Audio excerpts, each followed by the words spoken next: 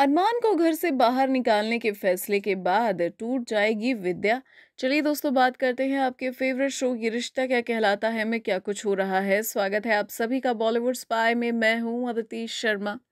तो दोस्तों, आप सभी जानते हैं कि विद्या इस वक्त अरमान और अभीरा से इतनी नाराज़ है कि भाई शादी करते ही विद्या ने उन दोनों को घर में रहने तक नहीं दिया, उन दोनों को घर से बाहर जाने के लिए कह दिया है।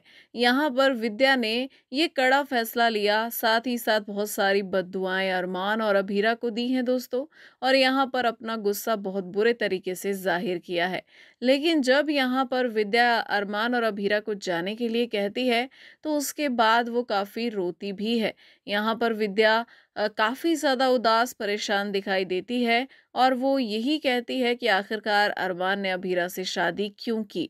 अब जब उसकी ज़िंदगी में कभी बच्चा आ ही नहीं पाएगा तो उसकी ज़िंदगी कैसी रहेगी? वो कैसे खुश रहेगा? यहाँ एक तरफ़ तो विद्या नेगेटिव नज़र आती है, लेकिन दूसरी तरफ़ विद्या थोड़ी सी पॉजिटिव भी दिख रही है।